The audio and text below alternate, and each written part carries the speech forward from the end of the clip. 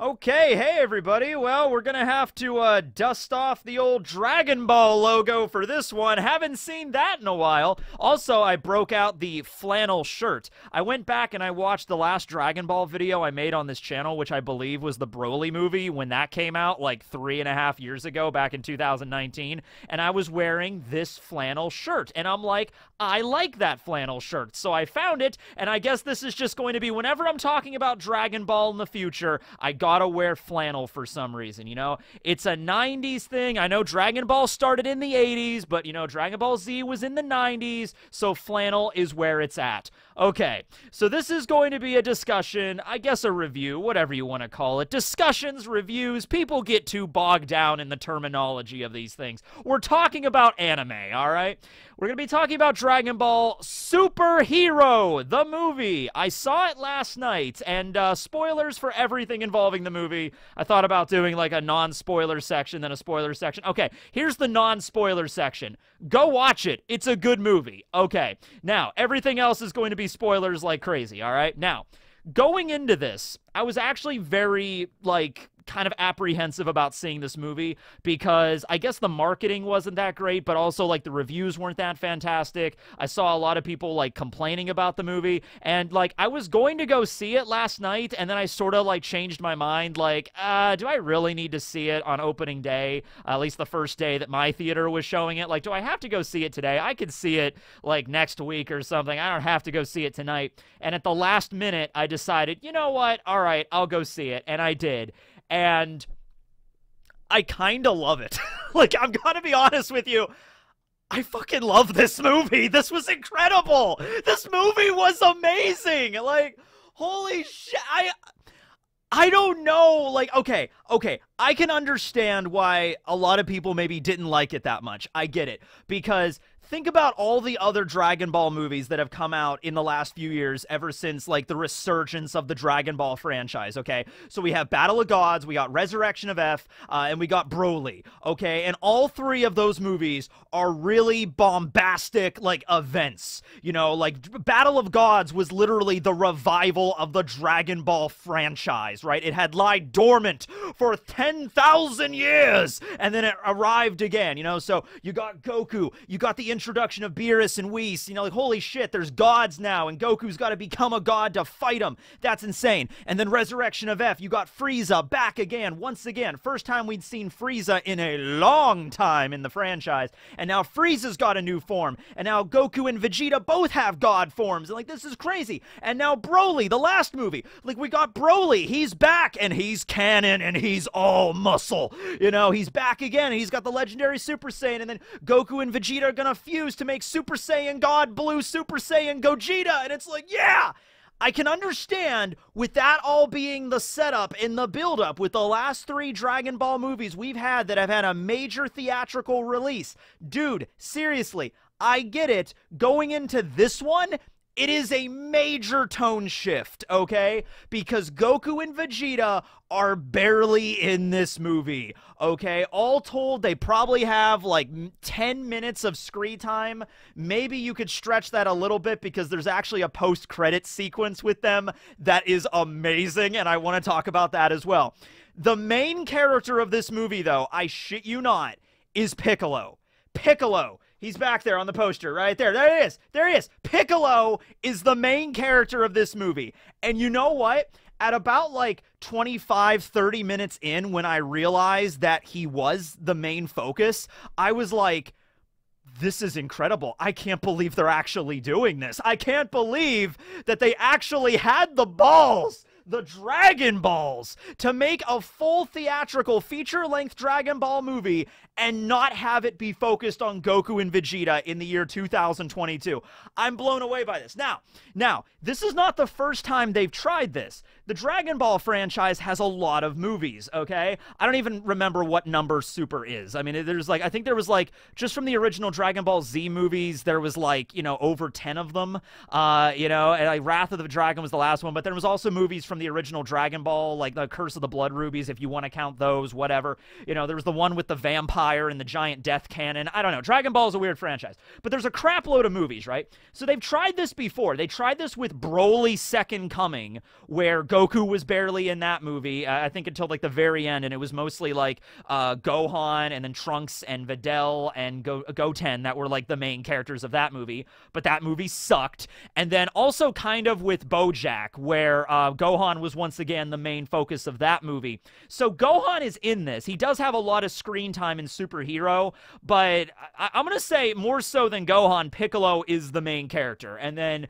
you know, you could go Gohan as like the second main character, and then beyond that, some other characters that are thrown in. But I'll tell you what, man, whoever wrote this, they they knew these characters all right? We have a bunch of references and easter eggs from the old dragon ball days from the old dragon ball z days. There's so many references. It's almost like these characters are written um, by people that actually understand them which is strange you know? And so piccolo in particular like i'm gonna be a scattershot at as hell with this okay? I'm gonna be jumping around this film okay? So let me just give you an idea. Like there's a scene relatively early on where where Piccolo fights against an android, okay, a brand new android for this movie, Gamma number two. And we'll get to him and everything about those androids and the resurgence of the Red Ribbon Army. We'll get to that. But there's a scene where they're fighting, and the android's like, So you must be King Piccolo. And he's like, I haven't been King Piccolo for a long time, you know. But back when I was King Piccolo, that outfit of yours was sort of in style, you know. So it's like little jokes like that. But there's references to, you know, King Piccolo, and then he's like, Well, I'm part of the Red Ribbon Army. And then then Piccolo's like, I remember the Red Ribbon Army back when I was Kami, because he has all of Kami's memories, because he is Kami, because they're originally the same damn Namekian.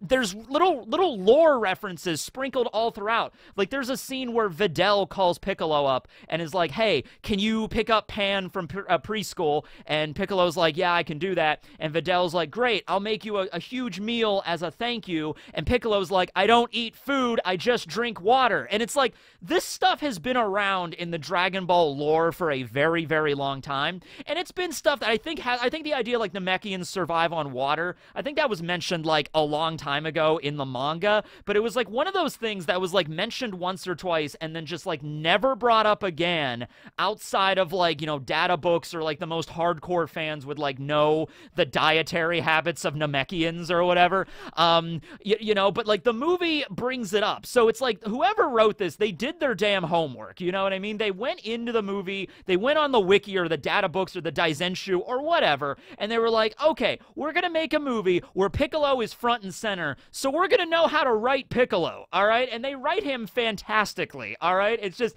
it's so nice to finally see a side character in a Dragon Ball movie like do anything relevant, okay? Outside of like maybe like oh like like Krillin. We had a scene in this movie where Krillin shows up at the end and Krillin, you know, throws a destructo disc at Cell Max and saves 18 and that was nice. Like there's some comic relief from Krillin. Dude, seriously, if you want to make the next Dragon Ball movie all about Krillin, you know, if this movie is any example, I'm going to go see that shit. All right? Like it's it's it's it's a great film. Okay? Now, like I said, like I said, if you are waiting for Goku and Vegeta to show up in this movie and fight against Cell Max, and like Goku and Vegeta go into their new forms, like Goku has mastered Ultra Instinct, Vegeta goes into Ultra Ego, his new form, and it's just like they beat the shit out of Cell Max. If that's what you're waiting for, if that's what your expectation was for this movie, then yeah, you are going to be disappointed, all right? Basically, the premise of this movie can be summarized thusly. the Red Ribbon Army has returned to take over the world. But oh no, Goku and Vegeta are out of town for the weekend. So it's up to Piccolo and the B Squad to save the day. You know, that is basically the premise of this movie. But the way the characters were written make it work. I think the comedy was on point. I saw some people saying, because I tweeted about this last night, like, I'm going to go see Dragon Ball Super tonight. Some people were tweeting out that, like, oh man, like, the comedy was kind of hit or miss. Dude, like, there were a few of the jokes that didn't land, but for the to be honest with you, for most of the part of this movie, I was laughing along with everybody. A lot of the humor is like sight humor? Like like okay there's a new character named carmine who or carmine whatever. He's like the butler or the chauffeur for the new leader of the red ribbon army uh, magenta who is uh, commander red's son. All right so we're gonna get into the back lore and the red ribbon army in a second here. But basically there's this new character named carmine and he like has this big pompadour haircut. It's like a very uh, like very crazy anime kind of haircut. His car literally has like a bubble built over the driver's seat so his his hairstyle can fit. Little things like that. He has the car has like a little thing that dispenses Oreos. So Magenta is talking to Dr. Hedo, who is the grandson of Dr. Gero, in the back seat, trying to like, hey, you should come work for us. We're gonna bring back the Red Ribbon Army, and you should build some androids for us and a brand new cell and everything like that. And it's like while this whole um this uh you know uh d- discussions going on where he's trying to persuade Dr. Hedo to go over to their side, he has like this little compartment that just like there's like Oreos, and then like they run out of Oreos, and he presses a button and it just reloads the Oreos, and it's like I don't know, like little things like that. It's just very kind of like old school Dragon Ball with like the sight humor and stuff. Um, Dr. Hedo has like this interesting like like hero suit that he wears, and he pushes a button, and it's like the glove transforms into like a screen, which it, it, the whole movie is animated in this very 3D CG kind of style, but it really works. Seriously, like I, I really honestly wasn't worried about the animation style because there were like some other anime movies I've seen in that 3D and it worked great. There was a Gantz movie that they did. I can't remember what it was called. It was a Gantz RE something or whatever. But there was a Gantz movie where it was animated in that 3D style, the Osaka arc, and I love that movie. That's probably like my favorite Gantz movie like ever. That's not much of a standard here because there's some other live actions and that's it. But I like that 3D kind of style, all right? So I think in the Dragon Ball universe, it fits perfectly fine and just adds a whole other layer to it. Um, I thought I was going to be like sitting down watching, like, oh man, this is going to be like I'm watching like somebody play like uh, a, a Dragon Ball video game, like Tenkaichi Budokai or something on like the PlayStation 2. But no, no, the animation is so good. It is really solid and it adds like they really play with the 3D angle of it.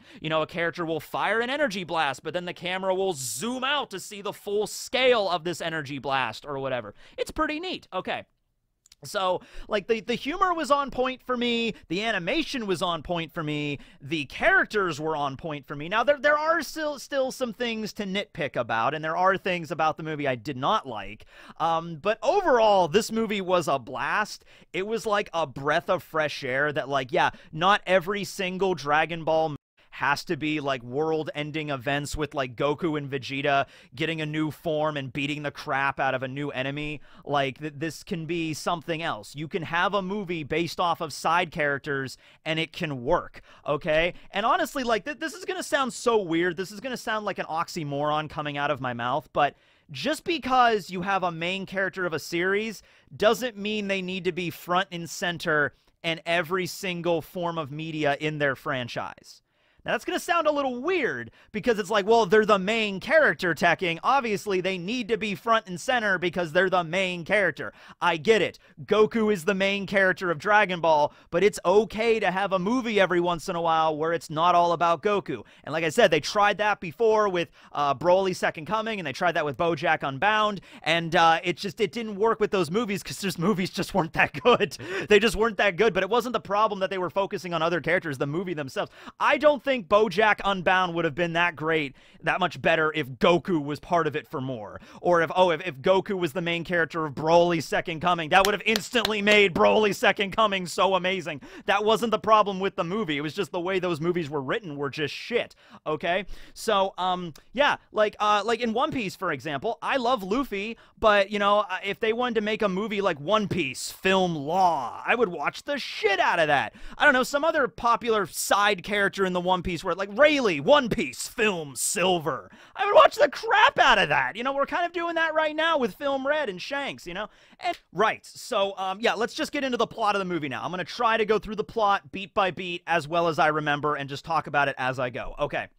So the movie starts off with the Red Ribbon Army. Okay, we get a whole recap of the Red Ribbon Army. In case you forgot who they were, it was a long time ago. Um, we see updated animations in the 3D style of, uh, well, no, it's, it's kind of 3D, some of it's 2D, but it looks really good. And it's going back to the original Dragon Ball style. So we see little kid Goku fighting his way through Muscle Tower, fighting against Lieutenant Blue, fighting against, um, you know, the, the Red Ribbon Army base and taking out uh, Commander Red and all that. Well, I guess he doesn't take out Commander Red Red, but you know what I mean? Like the whole like scene there where he fights against Staff Officer Black and the robot and everything, when he fights against uh, Mercenary Tao and everything. Like we see those scenes updated with modern animation, but it's still in the Dragon Ball style. And then we cut to, you know, Dr. Gero and the androids from Dragon Ball Z, and then the animation style shifts. So it's it's updated. It looks very crisp. It looks very clean for 2022, but the style is very different because they paid attention to detail with this, okay? Because if you look at the animation style from Dragon Ball uh, during like the first arc of the story, and then the animation from Dragon Ball Z like during the Cell arc, obviously it's just very different, okay? And so it's it's maybe a little bit more cartoony uh, because it's it originally kind of started with like as like a gag manga at the very beginning. So you know it it sort of you know keeps to that style and that tone with the Dragon Ball flashbacks, and then with the Dragon Ball Z flashbacks, it's a little bit more of a serious kind of animation style. That's the best way I can put it. So, the Red Ribbon Army. Commander Red had a son named Magenta, okay? And he continued the Red Ribbon Army in secret by starting the Red Pharmaceutical Company, which by the way has the exact same logo and everything as the Red Ribbon Army does. This is the first little nitpick of the movie, but honestly, I don't even know if it is because I think it is so over the top with it. I think it was meant to be a joke. You know what I mean? Because the idea is the Red Ribbon Army was like this paramilitary organization that literally wanted to take over the world. Like that was the main goal of Commander Red, at least. Well, wait, no. Wasn't the main goal of Commander Red to collect the Dragon Balls so he could be taller? You know, but I guess ostensibly their main goal was to take over the world. Whatever. Goku shuts that shit down when he was a little kid, and then they're like, okay, this global like organization of like robots and androids and military trying to take over the world and everything like that, that was destroyed. But now there's a pharmaceutical company that has the exact same logo, pretty much the exact same name, and the CEO of said company is named Magenta. Yeah, no relation to that giant military organization that tried to take over the world. By the way, like I said, they don't even try to hide it. The red ribbon logo is plastered everywhere. Everywhere on their buildings, on their clothing. It's just like Magenta literally wears a pin that says red ribbon right there on it. It's all over the place. They have a secret hideout, which is really not all that secret because it's connected to like the highway. It's really, it's like a couple miles down the street from the prison where they picked up Dr. Hedo. It's just, it's just right there. So they have this cool like mountainside, like secret base where you drive in and then it transforms into like a secret base. Like there's a holographic like shell covering it. But it doesn't even matter because there's giant logos of the red ribbon army out front of it. They have a lake that's in the shape of red ribbon like the logo. And it's just like it's so obvious that these guys are still around. I think that's part of the joke. Like, oh yeah, they've been around for like the last 20, 30 years ever since, you know, Goku destroyed their main headquarters, but like nobody notices or nobody cares or nobody connects the dots. I don't know. I just I just found it funnier the longer that that went on. Anyway, so Magenta is the new boss, and they actually managed to get a lot of the uh, the quirky things that Commander Red did with uh, Magenta. You could tell they went back and they watched the older Dragon Ball episodes and saw how like Commander Red acted, and they basically they kind of adapted that to how his son would be. Um, Magenta was a pretty funny character. I liked. You know, it's very just like I will try to take over the world, you know, but I'm an idiot, kind of, you know. So that's kind of funny, whatever. And Carmine is like his butler, or his chauffeur or whatever. His funny thing is that he likes to make YouTube videos. So he's like he's like he's like, "Yes, I will show you these classified um classified surveillance footage of Piccolo and Gohan and he just like uploaded them to his YouTube channel. I guess he keeps them unlisted. I don't know. I just find that guy kind of funny. That's that's that's very relatable to me. So I like that character. Uh, but you know, every, everything just the comedy was pretty funny with these two. It's kind of more of just like a wacky duo because relatively early on in the movie, you understand that, like, okay, Magenta is not a threat. The Red Ribbon Army, even though it is secretly back up and running at full power, it's also not really of a threat. You can understand that, like, if Goku and Vegeta were here, they would solve this problem within a matter of minutes. You know what I mean? Even Cell Max at the end of the movie, which I'll get to him, and Cell Max is interesting in his own right, and there's some backstory on like extra information on how strong Cell Max might be if he ever reached completion. Um, but even with Cell Max as he is in the movie, I think if Goku and Vegeta were there, like Ultra Instinct, Ultra Ego, like this would be no problem. Okay, they would be able to wipe out the Red Ribbon Army before breakfast or something, right? Cell Max might give them some trouble, but like not a big deal. You know what I mean? Especially if you throw Broly in the mix. Now, if Cell Max was completed, because it was revealed in the little pamphlet thing that, like, if Cell Max reached his perfect form, he would be even stronger than Broly. And it's just like, okay, okay, calm down, calm down. That doesn't actually happen in the movie, but all right, it's an interesting piece of lore, I guess. Okay. So, uh, Dr. Hedo, let's talk about him. Dr. Hedo uh, is the grandson of Dr. Gero, um, they go into a whole lore thing with that, where Carmine is talking about the uh, the family tree of Doctor Gero, and we actually see it. And once again, this is cool. We see Doctor Gero, and then we see his wife, uh, Doctor Vomi, who would later become the template for Android 21. Now, now she's from video games. I've never played those video games where Android 21 shows up. I know what she looks like, so I recognized her right away. So that was modeled after Gero's wife. I did know that Gero's son was modeled after was the template for Android 16. The idea is that Dr. Gero had a son who was killed, I think, by Goku when he attacked the Red Ribbon hideout when he was a kid. And so Dr. Gero's son died, and then he made Android 16 based off of his son's appearance. And Gero's son was named uh, Gevo, okay? Now, they had two sons. They had two children, okay? They had Gevo, and then they had another child who we don't know. They kind of leave that one ambiguous. Like, Dr. Gero and uh, Dr. Vomi had another child that we don't know. And then that child had Dr. Hedo, okay, who is the grandson, who's 24 years old, who's like a fat kind of like otaku kid that goes around to like, you know, anime conventions and like super like comic cons and stuff like that and gets like signatures and things. And he has this like really dorky cuz here's the thing with this movie. When I was looking at the promotional images for this movie, like the posters, I'm seeing this guy and I'm looking at this and I'm just like, oh, this is going to be a goofy movie, isn't it? This is going to be a weird comic relief Dragon Ball movie. Like, this is the villain. Like, come on, guys. He's not the villain. I mean, he is, but he isn't, okay? And honestly, when this guy showed up, like the way his character was depicted, I was like not as annoyed with him as I thought I would be. I was actually kind of invested in his like, you know, like what he's trying to do and everything cuz he's like a big fan of like old school like like Ultraman, Super Sentai, Tokusatsu kind of heroes, okay?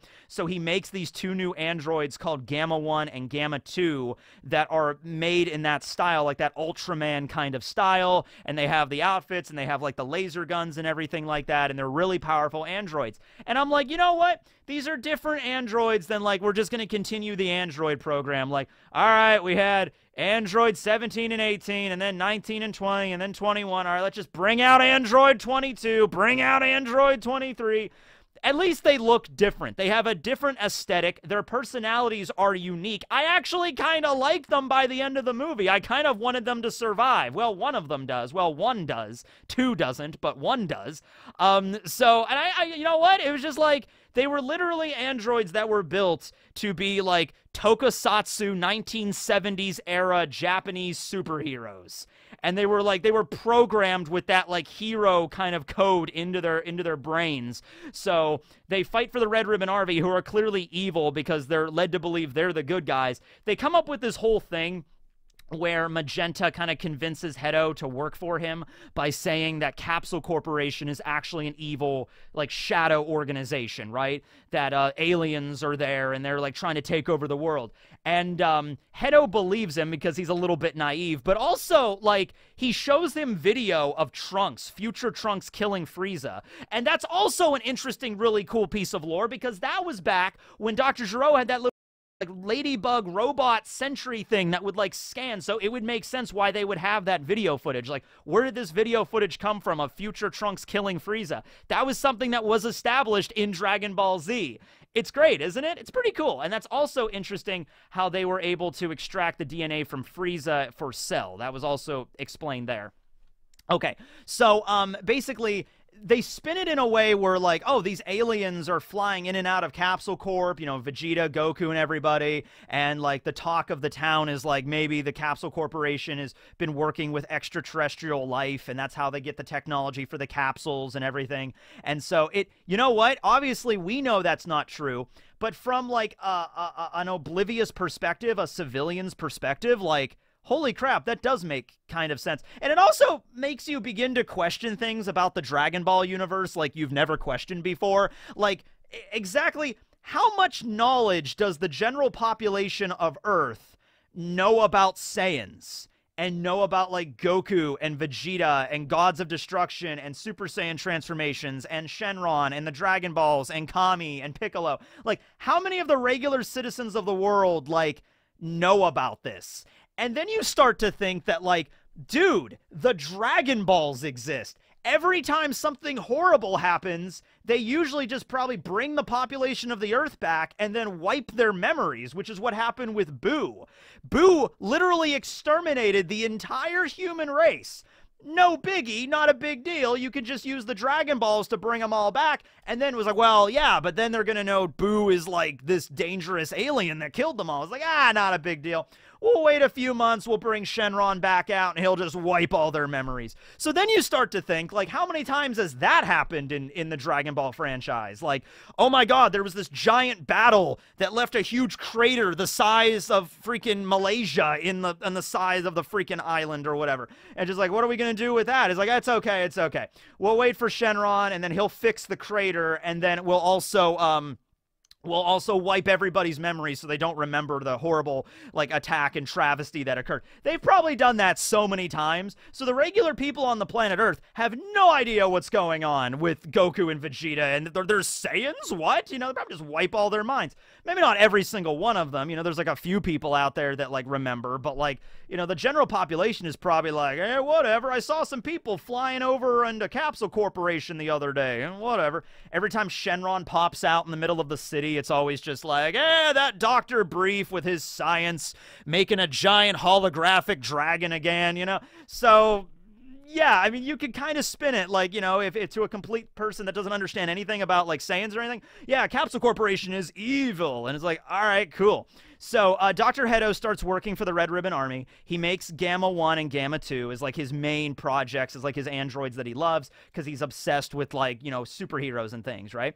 And so then uh, Dr. Uh, Dr. Gero and so then Magenta is also like, okay, we, I want you to bring back Cell. We have all the information, we have all the, the notes and the research that Dr. Gero did with Cell, but we have nobody that's able to decipher it because, you know, nobody's a scientist here, okay? But Dr. Hedo can. And so he's like, okay, I'm going to, uh, you know, analyze the data. And he's like, good, I want you to make Cell Max. And Dr. Hedo is like, I really don't want to do that because Cell is like this horrible monster that like almost wiped out the entire planet. Like, he, why would he want to do that? So I got to be honest with you. At the end of the movie, when Cell Max finally wakes up in Christmas fashion, he's got red and green as his style now. Um, he he is just this screaming, just powerhouse of just no personality.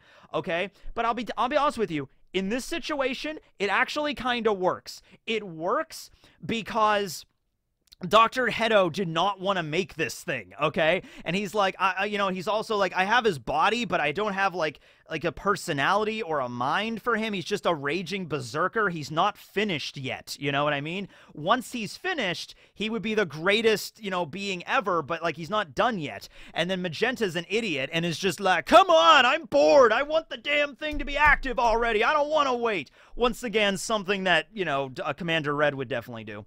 So um, there's also a major weak point that Dr. Hedo installed. Like if you just hit Cell Max's uh, skull enough, he'll explode. And it's like, okay, that's an obvious weak point, but once again, it makes sense in the context because Dr. Hedo did not want to make the damn thing. And he's like, I'm going to make this horrible murder machine that could wipe out the entire planet. I'm going to install a failsafe on the damn thing, though. Just hit his noggin hard enough and then he'll explode. I'm like, okay, cool, great. So, anyway, that's the backstory. That's the lead up, okay? And then we focus on Piccolo. Piccolo is training Pan, Goku's granddaughter, Gohan's uh, you know daughter, in order to be just a warrior. She's she hasn't learned how to fly yet. She's only three and a half years old. Uh, she wants to learn how to fire ki attacks and everything. But Piccolo's like, you know, you have to wait until you master the fundamentals and all that stuff. And uh, this brings us to the first kind of major issue with this movie. Um, there is a time skip here. Okay, so Pan is three and a half years old. I don't know exactly the time frame of where we were at during the tournament of power, but I remember in the anime, yeah, Pan was still a baby. And if you're talking about the manga, you know, going into like the Moro arc and then the Granola arc, which we just finished up, like I have no idea how much time is passing, but it's been like several years. Like if we're going with the timeline here, this movie, Superhero, takes place years after the Granola arc, which we just finished. Like literally the last chapter of the Granola arc was in the manga just like like last week it got released. Okay, that's so we're moving on to a new arc in the Super manga there's actually going to be a little bit of a hiatus for a little while. But um, yeah, so I'm sitting there and I'm just like, okay, so what's the deal with like Goku and Vegeta then? You know, because they would have their they would have like, like Goku should have mastered Ultra Instinct at this point. Vegeta should have Ultra Ego at this point. And it's like that's kind of a cool thing where they're not really in the movie, so we don't really see it, but it also makes sense why they're not in the movie that much because that way we don't have to worry about this, okay? And also, when this movie was made, when it was originally being written and animated and everything, they had no idea what was going to happen in the manga because those chapters hadn't come out yet, all right? So, Goku and Vegeta, I'll just tell you what they do in the movie because it doesn't take very long. Um, they're training on Whis' planet, not Whis' planet, Beerus's planet, but it's Whis' planet. And uh, Broly's there, Cheelai's there, Lemon is there from the previous movie from Broly, and um, they have a like a battle, like a competition where Whis is like, okay, Goku and Vegeta, I want you to spar and fight and we're going to watch. However, no transformations are allowed, no energy attacks are allowed, uh, no transformations of any kind, just an all out base form slugfest. You could still fly, but that's it. You're not allowed to fire any energy attacks, not allowed to transform. So that's a beautiful way of showing that. And it honestly, we see Goku and Vegeta fighting just in like just with regular martial arts, like punches, kicks, grabs, locks, you know, throwing around. That's all we see. And I'll be honest with you it was a good moment. It was a it was a highlight of the film because that's all we really get from them. But it's like, dude, we're so conditioned with Dragon Ball to be like, you know, energy attack, bigger energy attack, even bigger energy attack, different color energy attack. Those are cool, but remember what Dragon Ball was at the very beginning. It was a martial arts kind of style. Yes, there were ki attacks from the beginning. You know, Master Roshi busts out the Kamehameha like in the first few chapters of the series. There were always ki attacks in Dragon Ball. But there was definitely more of a focus on martial arts and stuff in the beginning. And that sort of just fell away at a certain point, you know, in favor of like bigger transformations, spikier hair. And I'm not saying one or the other. You can have both. You can have a martial arts movie and also crazy transformation ki attacks. And they do that beautifully in this film. Okay? So there's cool martial arts moments in the 3D perspective. That works. And then at the end, you also have some really cool transformations. Like Gohan has a new transformation, Beast Gohan. That was all over the, you know, all over social media. Piccolo has actually technically two transformations, but really only one that really looks different. Um, so yeah, so that's that's Goku and Vegeta. That's what they do. They don't transform. We assume they do have those forms, but they just they can't because that's not what the fight is about. It's just a base form slugfest, and that's something we really don't get to see that often. And then there's a post-credit scene that goes back to them where we see the conclusion of their battle, and I'll get to that at the very end because that was really fun. All right. So let's talk about Piccolo, all right? So with Goku and Vegeta gone, uh, Piccolo's training Pan. She runs off to, to preschool or whatever, and then Videl calls up Piccolo on his little phone that he has in his house. Piccolo has a house, he has a phone, it's adorable. And Videl's like, hey, can you pick up Pan later? You know, Gohan's busy, I'm busy, sorry.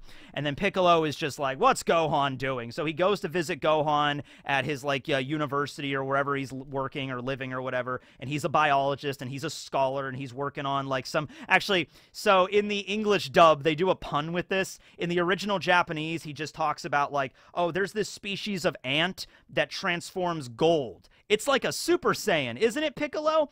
In the in the Funimation dub, they have a pun where it's like it's like a Super Saiyan ant. And I'm like, that's great though. That's funny. I don't care. Like it's like humor like that. It's just like they hit me with the Super Saiyan pun. I'm like, I laughed at that cuz that shit's funny. I'm sorry. I find that lame shit funny. I love puns. I will never not find I love One Piece for God's sake. If you like One Piece in any capacity, you have to have an affinity for puns, okay? That's like 50% of what Oda writes for God's sake is a damn pun, okay? Anyway, so I like that moment. Um, one thing that I did not like about the movie, though, is that this is like the third time in the story we've had to deal with, like, Gohan has lost his fighting mojo. Now he has to get it back. We've done this so many times in the franchise, and I get Gohan's character.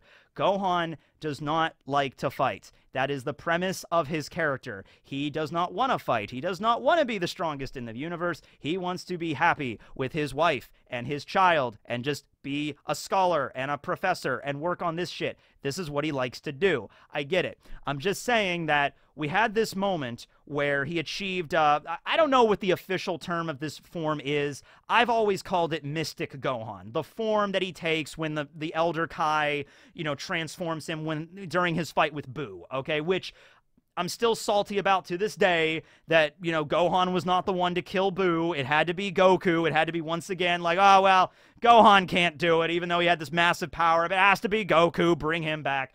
Like, I'm still mad about that. But we had Mystic Gohan there. And then years go by and he just forgets to like like I have this ultimate form, Mystic Gohan, my true potential unlocked. You know, cut to like five, six years later, he's like, nah, don't really know how to do that anymore. Yeah, I, I think I could maybe still go Super Saiyan if I wanted to, but like, eh? I get it. I do, Gohan. You're you're not a fighter, but it's like maybe you should keep up with the magical mystical transformation you have achieved in case something were to happen to the planet. And Piccolo even brings that up to him. Piccolo has had enough of Gohan's bullshit, and he's like, What happens if another world destroying threat comes here? Gohan's reaction is literally, Why should I worry about that? Goku and Vegeta are here. And Piccolo's looking at him like, "You naive son of a." it's like, what are? What is wrong with you? What happens if an alien shows up and tries to kill Videl? Are you just gonna be like, "Dad, help!" You know, like, like, and and you know, like Gohan does still have like reflexes and shit, but when it comes to like going into like his mystic form and stuff, it's just like, yeah, I really don't know how to do that anymore. It's like, come on, like, and so my point is, we already did this in Super we already did the moment where I don't know if Gohan will be able to fight in the Tournament of Power. And so then they have that moment where it's Piccolo and Gohan and Goku and uh, Tien fighting on that plateau. And then so that's where, eh, you know, through Piccolo's training again, you know, Gohan revisits the mystic form. He finally relearns how to unlock that power that the Elder Kai gave him. So this was in the Tournament of Power. This was only like three, not even three years ago, maybe excuse me, maybe three years ago. If you want to say Pan was like six months old, because she was still a baby when the Tournament of Power happened. So if you want to say Pan, this, this, you know, three and a half in this movie, so like three years has gone by. So it's literally, this is Gohan's character development in the Dragon Ball franchise. I'm just going to bear with this here, okay? So let, let's just start when he goes Super Saiyan 2 and he kills Cell, okay? He goes Super Saiyan 2, kills the shit out of Cell. Then Goku dies, and then he's like, okay, I'm just gonna be a regular high school student now. I could still go Super Saiyan. I could still do all of that. Um, but you know, I, am really not focused on fighting too much. I'm gonna be the Great Saiyaman. It's like, okay, fine, whatever. All right. And then the Boo arc happens, and he's like, I need to unlock my true power, and he does, and he becomes Mystic Gohan, and he's like, I'm gonna kick the shit out of Boo, and then he he messes it up. He screws it up. He drops the ball and the Potara earring. By the way, he drops a he drops a damn uh, bean in this. I I gotta bring up a meme here, just really quick. I saw a meme the other day that made me laugh so hard. It was remember the scene in Dragon Ball in in uh, the Great Saiyaman arc when Gohan is in high school, and there was the scene where they're playing baseball and like they hit the ball and it's like a home run, but Gohan can just fly up and grab the ball, and he's like grabbing the ball like it's not a big deal. And then you cut to the end of the Boo saga, which is like the same time as the Great Saiyaman is happening. It's only like a couple of days later, and he can't grab the damn Potara, and he can't grab the Senzu, and just like, when did Gohan's eyesight start to go? It must have been right between those moments. That's the definitive moment. I guess when he unlocked, when the Elder Kai unlocked his mystic form, that's when Gohan's eyesight just got shot to shit. You know what I mean? Like, okay. Anyway, so after that, though, after after he uh, fails to kill Boo, and you know he has to be brought back or whatever he's just like okay yeah um super saiyan super saiyan 2 mystic form. I'm just not even gonna bother with any of that anymore. I'm done. I'm just gonna get married to videl and i'm just gonna have a happy life and i'm gonna have a baby and it's gonna be great. Okay. And then the tournament of power happens where it's like the literal universe is at the brink of being destroyed unless we win this tournament. Gohan get your shit together. And gohan's like okay i'll try to get my shit together and then he does. He gets his shit together, and, you know, Piccolo trains him, and he unlocks Mystic again. And it's like, good, awesome. Then the Tournament of Power is over. Team 7 wins. 17 brings back all the dimensions with his wish. Oh, that's great. And then immediately after the tournament's over, what, does Gohan just go back home and is just like, whew, that was crazy. Oh, well, time to forget how to use Mystic again. It's just like, Gohan, Gohan, Gohan, Gohan, bro, bro. Like, this shit's gonna keep happening. It sucks. It sucks that you have to fight every once in a while. I get it. But, like, you know, honestly, in Dragon Ball Z Abridged, they did it the best, where Android 16 was just like, Gohan, grow up. You're gonna probably have to fight in your life. It's probably gonna be an inevitability. Keep up with this shit, all right? So I swear to God, I swear to God, Gohan gets his new transformation. He gets his Gohan beast form at the end of this. His hair goes silver. It, it's like, you know, it's like it's like Super Saiyan 3 hair, but like straight up, okay? His eyes go red and he's like channeling the beast within. And it's like, I swear to God, in the next Dragon Ball movie, if it's like, Gohan, use your beast form, and Gohan's like, ah, I haven't used that in like two years, man. I have no idea how to go into that again.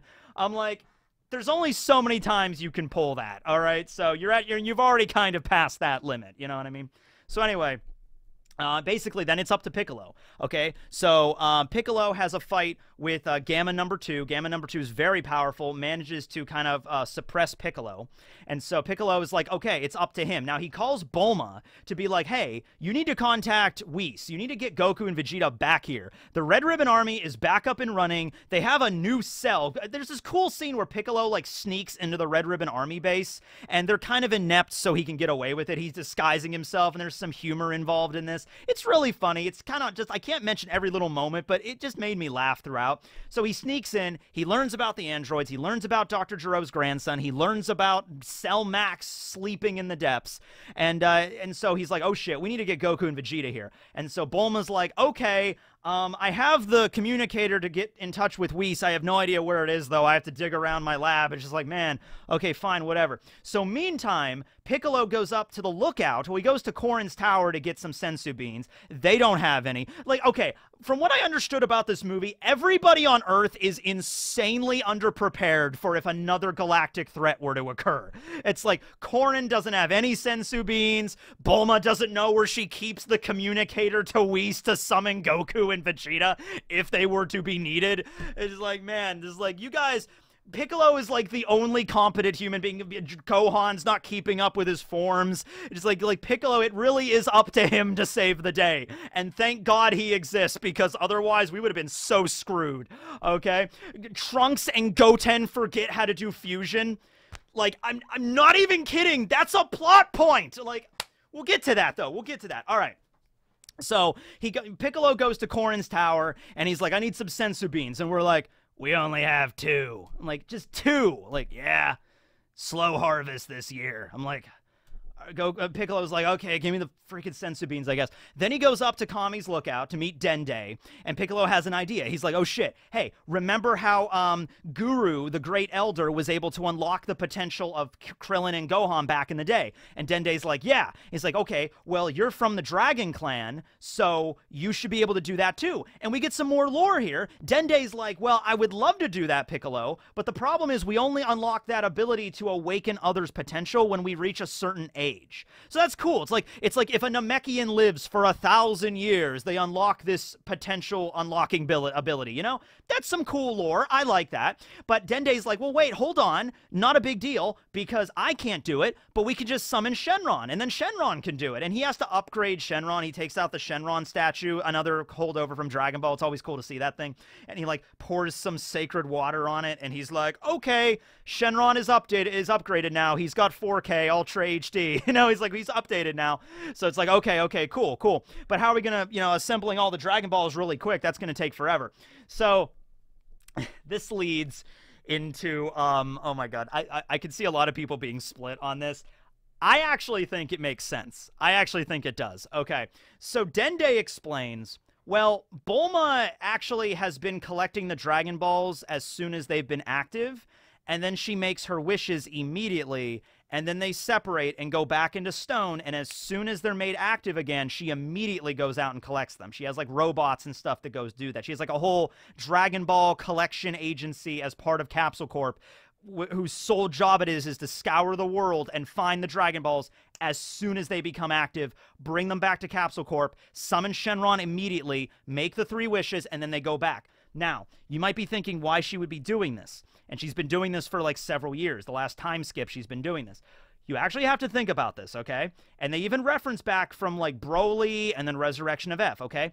If we just leave the Dragon Balls out in the wild, unattended, while they're active, what happens if another group gathers them up and summons the dragon? That's how we get Frieza's resurrected. You know, that's not good. So it's like, okay, but we also can't just gather all the Dragon Balls and keep them at Capsule Corp while they're active because same kind of problem. Then all somebody has to do is just break into Capsule Corp, steal all the balls at once, and then boom, they get a free wish. So Bulma's new tactic, she went a completely different direction with this. Bulma's new direction with this is like, okay, we're just going to collect them as soon as they're active, make the wishes, and then they go back to being inactive, okay? We're just going to keep the balls as inert as humanly possible as long as possible. Now, there are some downsides with this. Like, for example, what happens if Bulma makes a wish and then, like, a month later, freaking Krillin dies for the third time? And it's like, oh no, Krillin's dead. It's like, well, sorry, I just made a wish last month, so we're going to have to wait 11 months to bring him back. I mean, like, bringing people back from the dead is not really that big of a deal. It's never been that big of a deal in Dragon Ball. You know, you have the Namekian Dragon Balls now. Whis can kind of just do it with a flick of his wand, you know what I mean? So it's like, eh. But I'll be honest with you, this new tactic, there are some downsides to it.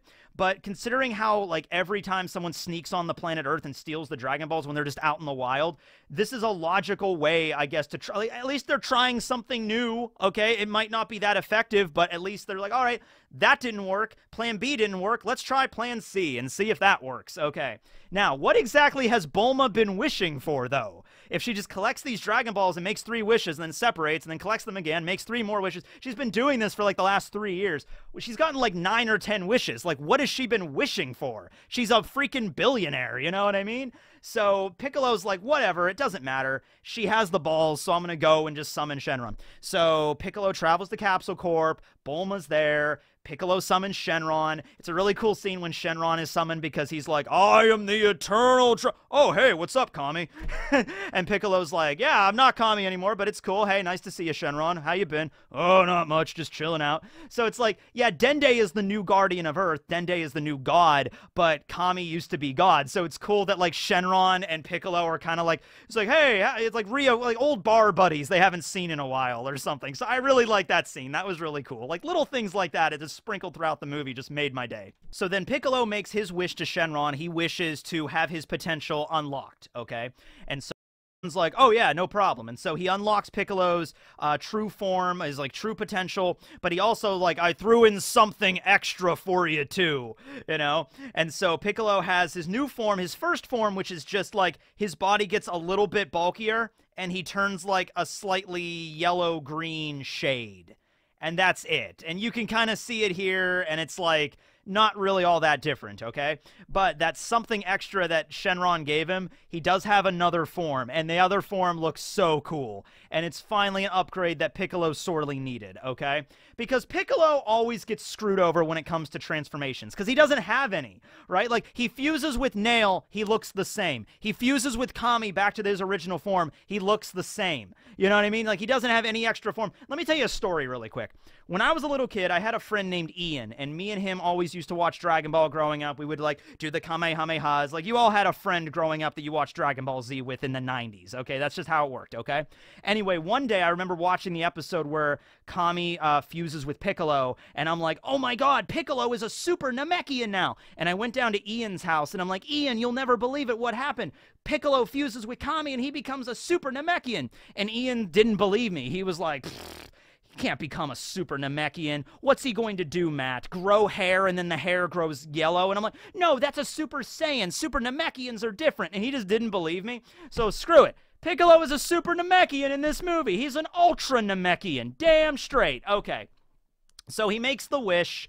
Shenron unlocks his potential, and then Piccolo he looks over to Bulma and he's like, "All right, well, I guess you get the two remaining wishes. Why not? Okay. And so we finally find out what Bulma has been wishing for. Okay, I'm just going to say it's a really good thing GT's not canon. because if GT was canon and all the shit with the Black Star Dragons was true, was like actual canon, because remember, the Black Star Dragons are whenever a wish is made selfishly, it creates negative energy in the balls, and then that creates the shadow dragons, born out of the negative energy, the selfishness of the wishes that were made. All I have to say is I'm really glad that's not canon because if that was true, Bulma alone would have been responsible for like four of the shadow dragons, okay? like, all right. She's wishing for literal cosmetic surgery. She literally is like, hmm, my butt is like sagging a little bit. Could you make it something like, you know, like I'm in my early 20s, you know, something like that? And Shenron's like, it is granted. Your buns have been restored. And it's like, okay. And then she's like, my second wish, hmm, I actually want my eyelashes to be like two millimeters longer. And then Shenron's like, okay, your wish has been granted. And then Piccolo's like, Really? Really, though? That's what you've been using them for. And Bulma's like, hey, I mean, the alternative is like, the alternative, okay, is like, what if Frieza's group grabs the balls again, or some other evil group like the Red, what if the Red Ribbon Army got their hands on the damn things? You know what I mean? So, if the Shadow Dragons are not an issue, and Dende seems to not have a problem with it, Dende is not like, Piccolo, you need to have a conversation with Bulma. Okay, the way she's been using the Dragon Balls is just so in an abuse of their power. No, Dende seems to not give a shit. Dende actually seems kind of happy about it. He's just like, yeah, she's been collecting the Dragon Balls and making wishes. Ha ha ha, that's Bulma. So it's like, like I said, if there's no negative consequences and it's keeping the Dragon Balls out of the hands of evildoers, fine. Let her get uh, the butt lift or the, you know, get some wrinkles removed, get some skin tags clipped off. Who cares? Whatever. Some people were upset about that. I found it as just like, all right, that's what Bulma would use the Dragon Balls for like I said, there's still a problem because what would have like what would have happened if Gohan were to have died in this battle with uh, Cell Max? Like, let's say Gohan just dies, or what if Pan died? And it's like, I'm sorry, I can't use the Dragon Balls to wish Pan back to life because I needed to get a boob job last month. So, sorry, you know, like there's a problem with that still, but hey, I, I guess like they're gonna go with it and see how well it works out. I, I guess. Okay, but nobody died. Nobody died. Well, okay, Gamma number two died, so I guess they could have used the Dragon Balls to bring him back. Um, but you know, they could still do that. You know, it's just like wait a year and they could bring him back. You know, sure, why not? Yeah, I don't think Gamma Two is ever gonna reappear in this series, which is a shame because I kind of like them. So anyway, Piccolo's got his new form, so he just charges right into Red Ribbon Army HQ. And uh, oh wait, no, wait, no, I have to talk about the other scene where they pick Pan up from the preschool. That's hilarious. So Piccolo is teamed up with like this generic uh, Red Ribbon Army grunt, like this big muscle dude. So he looks like like like Arnold. He looks like the Terminator, basically. Just like I'm a big tough guy and I work for the Red Ribbon Army. All right, you grunt, let's go and kidnap Gohan's daughter so we can use her as leverage. Let's do it. It's so you know, where it's like they're in the ship together and they're traveling down and they're like in the middle of broad daylight, just like looking at like uh, Pan getting out of preschool, like, all right, let's go do this. And then Piccolo's like, uh, hold on. Pan just decks this buff guy out, just like hits him with one punch and he falls to the ground. And then Piccolo walks over and then Pan instantly knows it's Piccolo because of his energy. And the, it's so funny. You have the uh, the preschool teacher there and Piccolo's like, yeah, sorry, Janet. This guy is just a problem. We're gonna get going now. It's just this weird, like, slice of life, like, family scene that Piccolo just now lives. Anyway, so they go back to the Red Ribbon Army HQ. Uh, Piccolo, in his first form, like the yellow green form, fights against Gamma number two. And it's very clear that he's not going to be able to beat him. Um, uh, Gohan is also there at this point to come rescue Pan. It just basically devolves into a huge fight, okay? It starts to rain. Gohan's there. He gets pissed that Pan has been kidnapped. He goes Super Saiyan. He's really badass. He starts fighting the Gammas. And then Piccolo uh, gets beaten down, and then he goes into his new form, his orange form, all right? And the, the way that he transforms is incredible. He gets knocked down this giant shaft, and then as he's falling, like Shenron appears in his mind, and this cool symbol like appears on uh, Piccolo's back in the form of a tree, and it lights up, and Piccolo's just like, oh.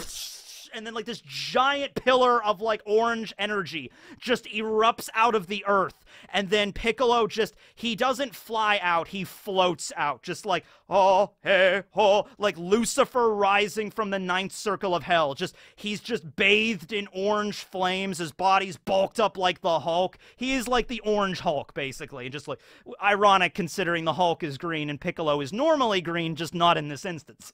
Okay so Piccolo emerges out of the out of the out of the void and he's super buff and he's like orange Piccolo. And he beats the crap out of he punches out freaking uh, Gamma 2 knocks him down and then that fight is kind of over at that point okay? And then Gohan is also victorious against one. He goes back into Mystic with his daughter being you know at, at risk of being killed. So then Gohan goes back into Mystic and it's like okay he can still go into that form if enough pressure is applied all right so we think everything is co- is copacetic for right now, right? Like, okay, uh, Magenta fights against Hedo, and Hedo has like this little bee that like injects poison into him that kills him, but not before he pushes the button to activate Cell Max, of course, because every evil scientist lab has to have just just push this button and just like typing in password. Why would Dr. Hedo tell like uh, Magenta how to activate Cell Max. Like, why would that even be a thing? Like, he would not tell him and be like, he's like, yeah, here's the password if you want to unlock this evil monstrosity that could wipe out the planet. So um, there's a little bit of a rest time where Piccolo is there, Gohan is there, Gamma 1 and Gamma 2 are now on their side. Bulma shows up with 18 and Krillin. Uh, Goten, Go, not Gotenks, uh, Goten and Trunks show up, and they're like, "Hey guys, we're here," you know. And, and there's a there's a funny scene where Bulma's like, "I've assembled the Earth's mightiest heroes." and Krillin, and it's like, okay, that was kind of a cheap shot on Krillin, but I'm sure he's he's used to it at this point. So they're there all like thinking everything is done now, everything's going to be okay. And then Cell Max wakes the fuck up. And Cell Max, like I said, he doesn't have a personality. He just is a monstrosity of just mad rage. But I'll tell you what, when he's in this tank and the tank ruptures and he wakes up and it's just this it's like the Tyrannosaurus Rex like awakening at Jurassic Park, okay? It's like this giant roar. Like he's not he's just a natural disaster and that's all he is. He's like the size of a 10-story building. He has the form of a semi-perfect cell. So the idea is if and Dr. Hedo even says, like, he has the body of Cell, but he doesn't have a mind yet. If he would have become perfected, if he would have became perfect Cell Max, which I have a feeling that's going to be a thing. I just have a feeling because you've set that up, like perfect Cell Max in the in the pamphlet Perfect Cell Max is going to make an appearance, whether that be in a video game or in like Dragon Ball, like uh, Heroes or whatever it's called. You know, there's some version of the franchise. There's going to be Perfect Cell Max and what he actually looks like and how powerful he is. He's like the strongest being, even beyond Broly, you know, rivaling even the gods of destruction, rivaling even Jiren, whatever. Ultra instinct, ultra ego. He's better than all of that. That's probably going to be a thing in the future. So let's just expect that, all right? There is a little fun scene though I did want to bring up and it's um they do bring up the Gohan glasses thing where Gohan loses his glasses when he was fighting the androids and he's like I can't find my glasses guys. Can you help me? And I think it's Krillin that just says like so how does that work Gohan like when you go super saiyan your eyesight's fixed but when you go back into your base form you just your eyes go back to crap like we don't get an answer to it but it's one of those things that I'm just happy they reference because you're thinking it it's like how come Gohan wears glasses now he never used to have to wear glasses when he was in high school he didn't have to wear glasses why did he just start wearing glasses in like his mid 20s? Does he have like ocular degeneration that only occurs when he's in his base form? I, I don't know, but it's just one little thing they mentioned. I thought I found it funny. So anyway, um, Cell Max wakes up and then it becomes just an all-out brawl. So you have Orange Piccolo there who transforms. He can go into the bigger size. Like you know, Krillin is even like Piccolo, make yourself bigger. Like when you fought Goku at the World Martial Arts Tournament. And Piccolo's like, oh yeah, I forgot I could do that. You forgot you could do that. Okay. Then we have another scene with Goten and Trunks where Trunks looks over at Goten and is like, hey, Goten, we should do fusion. And Goten's like, fusion? What are you talking about? And then Trunks is like, you know, with the dance. And then he's like, Oh, right. Fusion. Yeah, like that thing we used to do. Ah, oh, man, I barely remember how to do that. Okay.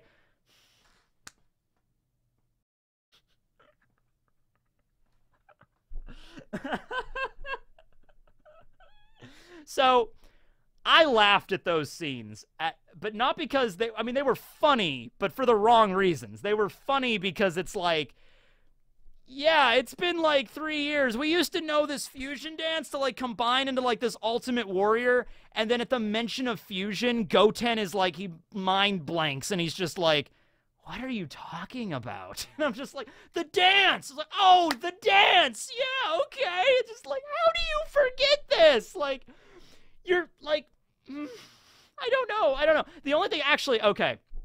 To be fair, Goten and Trunks are like teenagers now, so maybe they were like stoned. Maybe they were like maybe like like Goten was just hanging out outside at Mount Paozu and you know just like smoking and he's just getting really high and then he gets a message from Trunks like, "Hey Trunks, uh Cell's about to wake back up. You want to go fight?" And Goten's like, yeah, dude, that sounds awesome, bro. And he just goes and is like, hey, man, let's fight Cell. Okay, let's do this. And Trunks is like, we should fuse. And Goten's like, fusion? What are you? Oh, yeah, yeah, we should do the fusion. Yeah, that, I remember that. That was fun. So they fuse they mess it up, of course. They mess up the fusion dance. We get fat Gotenks. But you know what? They don't do the thing where they defuse and then go back and it's like, oh, let's try this again. No, fat Gotenks just fights against Cell Max and actually manages to get a decent hit off on the guy. Uh, there's some gags with him where his pants get ripped and his butt crack is hanging out. So just like, oh man, that sucks, guys. It's like, okay, whatever, I'll take it. Krillin gets a solar flare. 18 does some shit. Um, let's see. But it, it's mostly focused on basically a kaiju fight fight of giant Cell Max and then giant um, Orange Piccolo like grappling the crap. Uh, Gamma number two gives his life to like exhaust his power cell and slam into Cell to try to kill him. It doesn't work. He like rips off one of his arms. He can't regenerate. Um, and then it basically comes down to like Gohan, you got to use your new form. So Gohan unlocks the beast within. He goes into his beast form. This is a cool scene because Cell Max sees him in his new form. And then Cell Max has like a fist the size of a damn dump truck. Just and just goes to punch Gohan in his beast form. The fist hits him like, you know, this is like this is Gohan. The fist is like and it doesn't Gohan doesn't even raise up an arm to catch it. He doesn't block it. It's just like a, a, a like I said, a Mack truck sized fist just just hits his body but he's just like unmovable. It's like, is that all you got? okay then. And then he finishes him off. Uh, Piccolo uses his stretchy arms, something else that he just remembered he had, I guess. Manages to grapple Cell Max long enough for Gohan to charge up a Makankosappo, a special beam cannon. Fire the shot straight at Cell Max hits his head. He dies. He detonates because that's how he was programmed to work, whatever. He blows up in a giant crater, takes out like the entire continent, but it's okay. Dragon Balls, we could just fix that in like a year or whatever. And then that's the end of the movie. Pan has a little bit of an arc where she learns how to fly. And it's like, Pan, the world's exploding. You need to learn how to fly. And then Pan flew. And it's like, yeah. Okay, cool. And then, um, at the end of the movie, before the credits roll, everybody's just together again. Piccolo and Gohan have their new transformations. Pan flies around, and Piccolo's like, I'm proud of you. You know, we'll begin your new training tomorrow. And Pan's like, Yay! And then roll credits, and it's like, Okay, Dr. Hedo is alive. He's going to work for Capsule Corp, and Gamma Number One is going to work as a security officer. I, I kind of want to see these characters again. It's just so strange. I did not think I was going to give a shit about any of the, the side characters or the villains in this story, but I did. So I kind of want to see Gamma One again, like as a security officer at Capsule Corp. I, I'd like to see him again. Yeah, sure. So, credits roll post credit scene, we cut back to Whis' planet. I keep saying Whis' planet. It's Beerus's planet. We cut back to Beerus's planet. Oh, by the way, Beerus has a crush on Cheelai. I forgot to bring that up, but he's just he has the hots for Cheelai now. The the lady from the Frieza Force that we were, everybody was shipping with Broly. Well, Broly, you got some competition. I'm just saying now, okay? But whatever. That's a little funny scene with that. And then um, we just have the end of the fight between Vegeta and Goku. Now they've been fighting for like I want to say like at least like 12 hours. Okay, just a fisticuffs just ugh, ugh. they like exhausted all of their energy, everything they have, and then finally it's like the post-credit sequence last punch Vegeta's like ugh. Goku goes down and Vegeta's like I did it! I finally beat Kakarot! And then, but everybody's asleep. Like Whis and Beerus and Cheelai and Lemon, they're all like. Um, oh, yeah, they did it. No, actually, no. Lemon is still awake and Broly is still awake. Broly and Lemon are just weeping. They just, the camera cuts over to them weeping, like, that was the most beautiful display of fighting I've ever seen in my life. And then Goku's on the ground and he's like, ah, uh, and then Vegeta collapses, and then that's the end of the movie. Vegeta finally beat Goku in a base form fisticuffs brawl. He won. Now you could still like, well, what would happen if it, they were at full power, Ultra Instinct, Ultra Ego, whatever? Doesn't matter. Vegeta got a win. Do not take this away from him okay? Do not take this away from him, all right? He has this, all right? He's going to go home and he's going to make a statue or a plaque or something that's going to be like, this day in the year 792 or whatever year it is in the Dragon Ball universe, I finally defeated Kakarot, you know? He has a win, all right? That's the movie. Huh, so that was an over an hour. Wow, that was crazy. But you know, dude, I I love this. I really did. I would recommend this movie. I don't know if, like, I'm thinking about how to rate it compared to the other recent Dragon Ball movies, like the, at least the last three that came out. So out of the four that have been since Battle of Gods. And um, I don't think it's really fair to compare this movie to, like, Resurrection F, Battle of Gods, in terms of, like, battles, plot, because it's very different. Um, if you want to compare them, in, even in terms of animation, it's just a different kind of animation style altogether. You know what I mean? Like the animation in Resurrection of F kind of sucked every now and then. Uh, there was really bad CG in Resurrection of F. There's really good CG here. So yeah. So in terms of animation, I think it's one of the best ones. Honestly, I, I want to see. I want to see now that we did a movie like this. I want to see other movies like in the same kind of format and the same kind of style, but we can also do like a Dragon Ball, like a serious Dragon Ball movie with Goku and Vegeta in this 3D fashion. I would love to see Ultra Instinct in this animation style. Like, I think it would look really cool, you know? Um, Frieza's not even mentioned at all in the movie, which is important to mention because uh, what's going on with him right now in the manga is a whole other. I'm not going to bring that up right now, but you know, there's some big stuff going on in the Dragon Ball manga if you haven't been reading it lately. So go and check that out. Um, but yeah, that was uh, my discussion review, whatever you want to call this, on Dragon Ball Super. I really enjoyed it. I enjoyed it way more than I thought I would. Um, I would say, like I said, like if you're going into this expecting Goku Vegeta Brawl Fest or like Broly 2 or whatever, like that's not going to be it. Uh, it. It's definitely more lighthearted. It's definitely more comedy. But if you're a fan of like the old school Dragon Ball, like if you grew up with Dragon Ball and Dragon Ball Z back in the 90s, like I did, um, you'll enjoy this. You'll enjoy this. The updated animation, the focus on Go- Gohan and Piccolo. Um, you know, it's fun. It's it's it's a fun movie. I had fun watching this Dragon Ball movie. Okay, so with that all being said. I guess I'll see you back here when the Dragon Ball Super anime comes back at some point. Tekking signing out. Later.